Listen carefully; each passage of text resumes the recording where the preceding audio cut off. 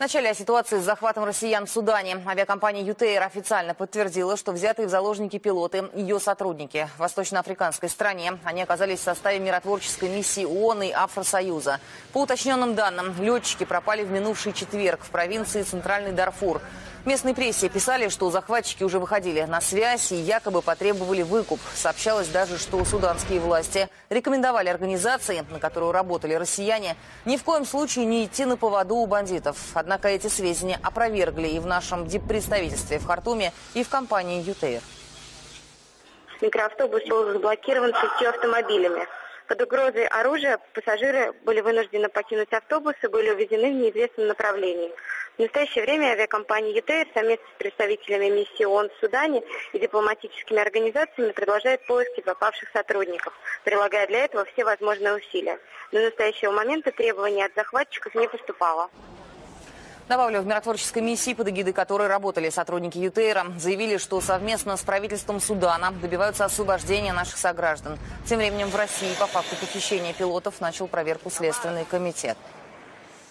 Теперь к событиям на Украине. В Донецке в эти минуты опять слышны разрывы. По сообщениям горожан, после обстрелов вспыхнули несколько сильных пожаров в центральных районах. В штабе ополчения заявили, что один из снарядов украинской армии снова обесточил шахту имени Засядько. Сейчас из-под земли пытаются эвакуировать горняков. По предварительным данным, там 140 человек. Сегодня же командование армии Новороссии уточнило число жертв по итогам последних обстрелов. Восемь мирных жителей погибли, два десятка ранены. В понедельник силовики нанесли удары по станции переливания крови, автобусного парка, коммунальных предприятий и жилым кварталам столицы ДНР. Причем боеприпасы, которые ополченцы находят, в том числе и в черте Донецка, похожи на те, которые используются вооруженными силами стран НАТО. Несколько таких снарядов сегодня привезли из Горловки. Их продемонстрировали журналистам. Снаряда калибра 155 мм. Используются артиллерийскими системами стран НАТО. Данные системы не стоят на вооружении украинской армии. Это специальный снаряд 155 калибра и самоходной артиллерийской установки М109А1 американского производства. На этом снаряде установлен донный детонатор. При его попадании в стену здания, сооружения, он застревает в ней и ломает стену. При попадании вовнутрь взрывная волна и осколки уничтожают все живое. Второй экспонат. Это неуправляемые артиллерийские системы калибра 75 мм. Данный образец также используется артиллерийскими системами стран НАТО и не стоит на вооружении украинской армии. Это снаряд от залповых систем, который устанавливается на переносные реактивные системы, в основном на автомобили. Данная система очень широко применяется во многих конфликтах в Сирии, Ираке, в Афганистане. И, как вы видите, начали использовать на территории ДНР. Словно не замечая всех этих фактов, союзники Киева на Западе утверждают, что оружие украинской армии не поставляют, но все чаще задумываются об этом. Клим Санаткин о том, какова обстановка на передовой и кто за пределами Украины готов делать все для фронта. Снова обстрелы, пробитые крыши, разрушенные квартиры и поврежденные подъезды. Услышав выстрелы, жители Янакиева бегут прятаться в бомбоубежище. Кто-то прямо под звуки канонады собирает вещи и уезжает из города. Куда точно, даже не знают. Теперь куда решили? Не знаем еще. Куда-нибудь подальше от этого дурдома. Порошенку привет, чтоб ты сдох. И чтоб твоих детей точно так же было, как мы вот это сидим. Как можно жить дальше? И что он хотит вообще от нас? И где мне жить теперь? Подвалы – самое безопасное место. Сидеть здесь порой приходится сутками. Ненадолго поднимаемся в квартиру, чтобы поесть. Украинская армия продолжает выполнять преступные приказы Киева. После объявления Петром Порошенко всеобщей мобилизации в бой идут одни новобранцы. Победа любой ценой, только цена слишком высока. Под обстрелами продолжает гибнуть мирное население. Ополченцы вынуждены отвечать и отодвигать линию фронта от жилых кварталов. С огромными потерями киевские власти не считаются. И в основном это молодые, необученные украинские солдаты. За сегодня только раненых в это маленькое отделение привезли 70 человек раненых. Это только за ну, часов шесть. Все понимают, что происходит на Украине. Может, там киборы, а мы просто мясо. Это самая грубейшая ошибка, когда два разных подразделения без средств связи, не зная личного состава, вышли в На этом фоне, опасаясь вызвать панику, киевские власти стараются замалчивать происходящее под Дебальцево, где группировка киевских силовиков практически попала в окружение. Информацию о положении дел прямо в социальных сетях сообщают сами участники боев с украинской стороны. Это фрагмент разговора с представителем батальона спецназа МВД Украины «Свитязь» Александром Фацевичем. Заняли Дом культуры, потому что знали, что идет подмога, подмога не дошла. Смысла держать дальше было Дом культуры не было. Нас просто задавили. Углегорск уже не наш, не наш город. Все чаще действия киевских властей заставляют иностранных журналистов обращать внимание на истинное положение дел на юго-востоке Украины. Репортер британского телеканала своими глазами наблюдала, что происходит вокруг так называемого Дебальцевского котла. Увиденная картина отличалась от той, которую показывал официальный Киев. Украинские позиции примерно в 700 метрах отсюда. Ополченцы говорят, что контролируют территорию к западу, югу и востоку отсюда. И сейчас они прорываются на север, чтобы отрезать позиции украинской армии в Дебальцево. Между тем, в ближайшее время журналистам будет еще сложнее выполнять свою работу. СБУ Украины накануне объявила, что усиливает контроль за деятельностью сотрудников СМИ, которые, по мнению Киева, цитата, «ведут информационную войну». Впрочем, критерии этой войны и меры наказания за нее пока неизвестны. Украинская тема остается одной из главных новостей и в европейской прессе. Немецкое издание «Шпигель» опубликовало статью, в которой говорится, что планы США о поставках оружия на Украину, цитата, «угрожают единству Европы». Если США захотят поставлять оружие на Украину, это ознаменовало бы резкое изменение курса в нынешней политике Запада, что вступило бы в противоречие с позицией правительства ФРГ. В Берлине убеждены, что конфликт на Украине нельзя решить военным путем, на что еще раз указала канцлер Ангела Меркель в ходе визита в Венгрию. Если Обама действительно реализует эти планы, кризис на Украине грозит достигнуть нового уровня эскалации. А некоторые эксперты и вовсе считают, что в случае поставок американского оружия на Украину Запад может быть втянут в войну. Я считаю, что это ошибка. До сих пор США таких поставок избегали. Вашингтон, как и правительство ФРГ, опасался, что это приведет к гонке вооружений и напрямую втянет нас в конфронтацию с Москвой. Мы можем оказаться в роли прямого или косвенного участника войны, что чрезвычайно опасно. Эта тема активно обсуждалась накануне и в Госдепартаменте США. Пресс-секретарь Джейн Псаки высказалась, что решение о поставках оружия на Украину пока не принято. Вы бы согласились с основным тезисом о том, что если русские, как вы неоднократно утверждали, вооружают одну сторону, а вы собираетесь вооружать другую, значит вы ввязались в опосредованную войну? Я бы не согласилась с этим, но мы давно говорим, что считаем политическое решение и дипломатический подход правильным подходом и продолжаем его продвигать. Впрочем, пока оружия на улицах Киева достаточно и без американской помощи. По словам начальника киевской милиции Александра Терещука, сотни единиц практически беспрепятственно и незаконно попадают в город из зоны АТО. Украинской столице объявили, что город теперь будут охранять снайперы. Усилят проверку на улицах, в метро и на дорогах, в том числе на блокпостах, которые уже действуют у въезда в Киев. Резкий рост уровня преступности официальные власти уже не скрывают. Клим Санаткин, Виктор Аверин, Роман Гусь. Первый канал. Из-за нового витка насилия, который Киев спровоцировал намерением во что бы то ни стало отбить Донецкий аэропорт, из регионов Юго-Востока опять возрос поток беженцев впервые с декабря. По данным Российской миграционной службы, на сегодняшний день в нашей стране находится почти 2,5 миллиона украинцев. При этом каждый пятый в ближайшее время на родину возвращаться не планирует. Как сообщили ФМС, число тех, кто обратился за убежищем или разрешением на временное проживание, всего за несколько дней увеличилось почти на 50 тысяч человек. Добавлю, более миллиона беженцев мужчины призывного возраста. И в этой категории тоже фиксируют значительный прирост. Специалисты связывают это с новой волной мобилизации, объявленной по указу Порошенко. Многие украинцы не готовы участвовать в силовой операции. Подмосковье ищут преступников, которые совершили разбойное нападение на семью предпринимателя в Нахабине. Шестеро злоумышленников в масках появились, когда мужчина с женой подходили к своему дому. Супругов связали и стали вымогать деньги. Получив полтора миллиона рублей, двое из нападавших отправились в гостевой дом в поисках дополнительной наживы. Там спали дочь предпринимателя, ее муж и пятилетний ребенок. Сначала преступники избили женщину, она потеряла сознание. На ее защиту бросился муж. Он был серьезно ранен, но сумел дать отпор. Ходе борьбы мужчина оказал активное сопротивление и выхватил из их рук нож и нанес а, им обоим грабителям несколько ударов. От полученных ранений злоумышленники скачались на месте, а зять предпринимателя доставлен в больницу в реанимационное отделение а с несколькими э, колотопроникающими ранениями. Остальные злоумышленники скрылись, ведется розыск. В этой истории сейчас разбираются следователи. Им предстоит выяснить все обстоятельства разбойного нападения и вынужденной самообороны.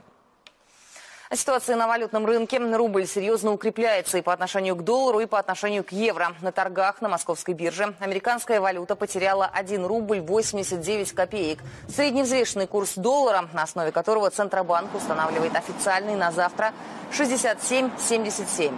Также почти на 2 рубля, судя по состоянию на 11.30, подешевел евро. Все это происходит на фоне дорожающей нефти. Положительная динамика и на рынке акций. Сразу в 17 регионах России свирепствует грипп в разных городах, от Санкт-Петербурга до Владивостока. Такие данные приводит Роспотребнадзор. На карантин как минимум на неделю закрыты свыше 220 школ и более 50 детских садов по всей стране. Наиболее трудная ситуация в Сибири и на Урале. Кое-где эпидемиологический порог превышен в полтора, а то и в два раза.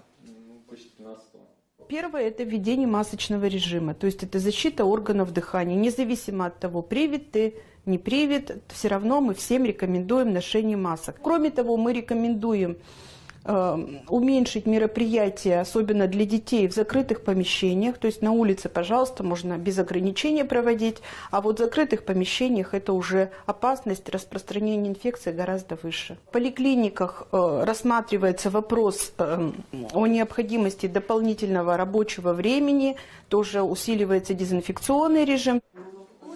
Специалисты отмечают, даже после выздоровления велика вероятность заболеть вновь, так как в этом году распространяются сразу несколько разновидностей вируса, в том числе AH1N1, который несколько лет назад вызвал пандемию. Скорая помощь для спортсменов. Именно так можно назвать уникальное оборудование, которое сейчас используют в диагностическом центре Красноярска. Новейшие технологии, а аналогов аппарата в России больше нет, помогают, например, олимпийцам и тем, кто примет участие в универсиаде, быстро восстановиться после нагрузок и травм. Ну а кроме того, больше узнать о собственных возможностях. Репортаж Дмитрия Толмачева.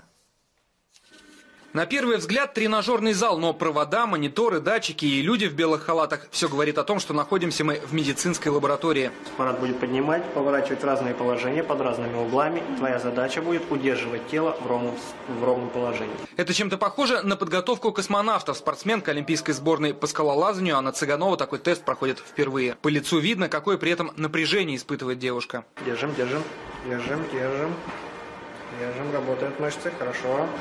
Тесты позволяют нам определить, какие мышцы сильнее, какие мышцы слабее, какой диапазон движений вообще может совершить человек. Пройти это испытание нелегко даже спортсмену, что говорить о неподготовленном человеке. Для тех, кто не выдерживает нагрузки, предусмотрена аварийная кнопка остановки.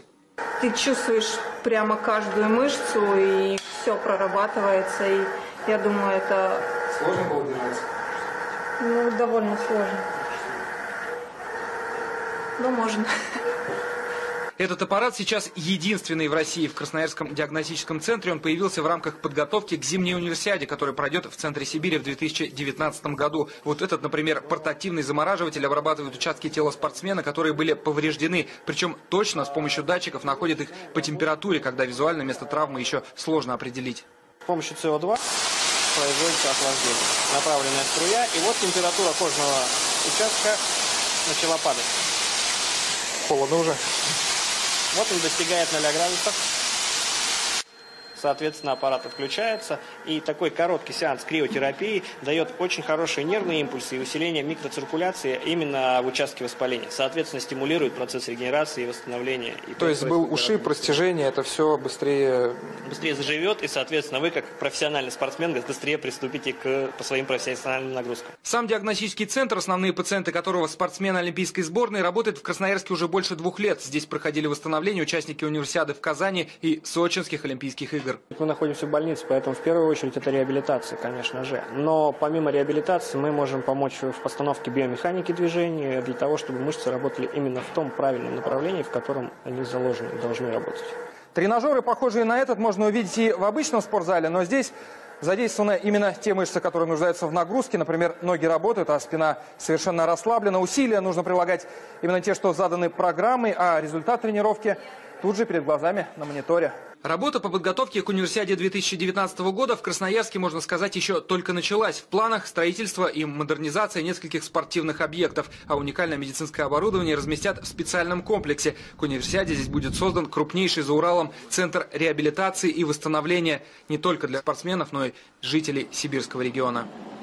Дмитрий Толмачев, Сергей Буркеев, Александр Ткаченко. Первый канал, Красноярск. Центральной России объявлен оранжевый предпоследний уровень опасности в связи с ухудшением погоды. Гидромедцентр предупреждает о том, что в ряде регионов, в том числе столичном, а также Владимирской и Тверской областях, ожидаются метель со штормовым ветром. Последствия непогоды все еще устраняют в Татарстане. Шквалистый ветер, снегопад, местами переходящий в ледяной дождь. Результат – многочисленные обрывы проводов электропередачи. Свыше 30 тысяч человек в 17 районах остались без света. Восстановить подачу электроэнергии к утру смогли в 13 из них. Ну а вот на юге России, наоборот, аномально тепло. В Краснодарском крае зафиксированы рекордные для этого времени года 20 градусов. В Сочи даже зацвели мимозы и подснежники. Ранняя весна в регион пришла вместе с воздушными потоками из Африки и Средиземноморья. Жизнь в бельгийском городе Призраки. Для кого-то фантастика, а для тех, кто там родился, повседневная реальность. Населенный пункт, основанный шесть столетий назад, вот-вот исчезнет с карты страны, чтобы уступить место складам. С таким решением согласились не все, а те, кто решил остаться. Репортаж Дмитрия Сошина. Городок Дуэль возник в 13 веке рядом с устьем реки Шельда. Столетиями, пять за пятью, люди отвоевывали землю у Северного моря. Теперь они ее снова теряют. На этот раз Дуэлю угрожает не вода и даже не построенная в 70-х атомная электростанция. Торговый порт Антверпена вот-вот поглотит один из старейших бельгийских городов. В один прекрасный день пришло письмо, и в нем сказано, город необходимо покинуть, продавайте свои дома, а потом стали приходить чиновники и люди из порта. Город с многовековой историей решили снести, а на его месте построить новые доки и склады. В последнее время Дуэль опустел. Из 15 тысяч жителей осталось всего пятеро. Эмилиан Дризен уже проводила своих дочерей и внуков, но сама уезжать отказалась. Незваных гостей она отпугивает футбольным гудком и игрушечным револьвером. Из соседей лишь коты в доме напротив. Кроме родни, раз в неделю заходит священник. Пока в городе люди, храм и кладбище трогать не решаются. Какие-то 10 лет тому назад про Дуэль говорили, а, это город 26 кафе. Из кафе, из пивных выносили на улице столики. Люди веселились, обсуждали последние новости, танцевали иногда. А сейчас это город заколоченных окон. Это город бездомных, которые иногда селятся в пустые дома. Это город граффити, которые здесь на каждом углу. Говорят, что на стенах дуэли расписались самые известные граффитисты Европы. Поначалу настенная живопись немногочисленных жителей раздражала. Но со временем в музей под открытым небом потянулись туристы из Франции и Голландии. У обреченного города появился шанс на выживание. На его защиту встали влиятельные культурные силы. Даже если люди сюда не вернутся, дуэль не стоит трогать. Это памятник городскому хаосу, изнанка европейского города. У нас в Бельгии так много аккуратных и скучных мест. Но люди мечтают жить не в музее, а в нормальном городе. Как и раньше, ходить на работу, кататься на лодках, сидеть в любимых кафе. Одно из них, возле старой мельницы, до сих пор работает. Правда, все население Дуэля теперь умещается встречается за двумя столиками. Нет, мы не сдаемся. Нам когда-то сказали, что здесь построят новый док, и что это решенный вопрос. А теперь работы остановились. Может, они передумали? Администрация порта не объясняет, почему на стройплощадке тишина. Может, действительно передумали. Или нашли способ расширить порт в обход города. Как бы то ни было, кое-кто из горожан решил вернуться. Пока власти думают, можно еще хотя бы пару месяцев насладиться жизнью в родных стенах. Дмитрий Сошин, Павел Лихолетов, Юлия Заграничного. Первый канал. Дуэль. Бельгия. На этом все. Удачного дня и до встречи на Первом канале.